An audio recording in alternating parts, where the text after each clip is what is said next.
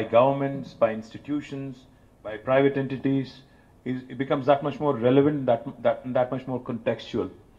Cyber threats, as was pointed out by several experts, I think this mindless, meaningless war in Russia, uh, by Russia on Ukraine is one thing, but I think the age where physical wars will happen or uh, you know will continue to happen is passe. I think the real war, the, re the real wars will actually happen in the cyber world, where your country's infrastructure will be attacked, where your institutions' infrastructure will be attacked, and where I think nations will try and score over each other, institutions will try and score each over each other in the cyber world. I was, you know, about a few years ago, I met with Ajay Banga, who's now been anointed as the uh, president of the World Bank, but he was then heading the MasterCard, uh, uh, you know, he was the CEO of MasterCard.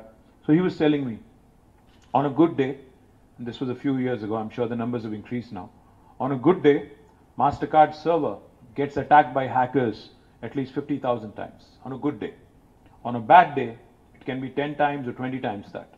So you can imagine the kind of threat, you can imagine the kind of uh, uh, you know insecure world that we live in when it comes to ensuring digital safety. So therefore, as a government in Telangana, we have understood the importance of this subject of cyber security, and we were the first state in the country to have come out with an exclusive cyber security policy. We also take immense pride in saying that Telangana now has more than 230 plus technology companies uh, across a wide spectrum of domains who all have their cybersecurity teams running from Hyderabad. Telangana government also has associated, we believe in partnerships. We've associated with the Data Security Council of India and have set up a cybersecurity center of excellence in Hyderabad in 2018 to create a safe, secure, and a trusted cyberspace and to catalyze innovation, entrepreneurship, and capability building in cybersecurity and privacy. We have been working with them on national and international collaborations to boost cyber security ecosystem. The cyber, the cyber security, the Cyber Center of Excellence, Cyber Security Center of Excellence conducts several programs, including research, hackathons, capability development, and policy in cybersecurity and, and uh, privacy.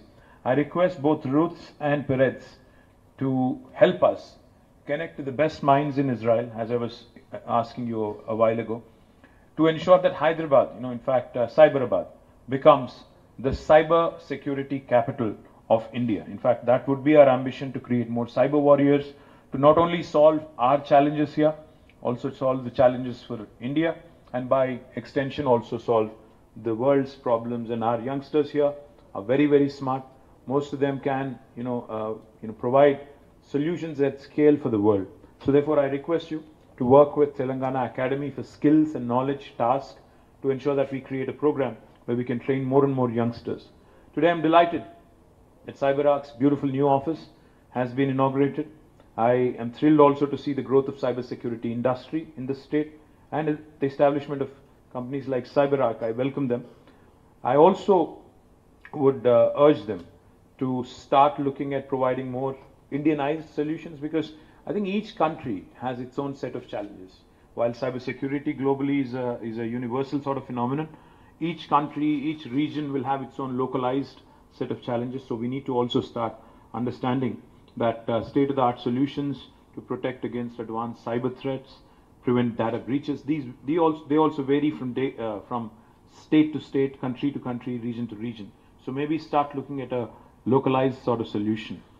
CyberArk's expertise in protecting privileged accounts and data is critical in today's digital landscape, and I believe that their solutions will play a significant role in ensuring that the safety and security of businesses across the state of Telangana and across India as well. I'd also like to commend CyberArk for their contribution to the local economy.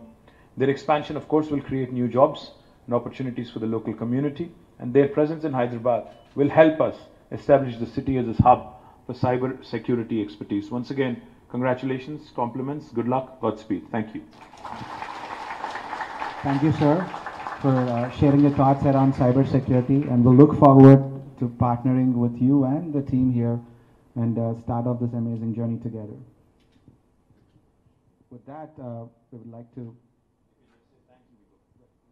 अस्सलाम वालेकुम hello hi आदाब everyone दोस्तों मैं आपका दोस्त शहबाज खान आप देख रहे हैं टीएनटी न्यूज और देखते रहिए टीएनटी न्यूज थैंक यू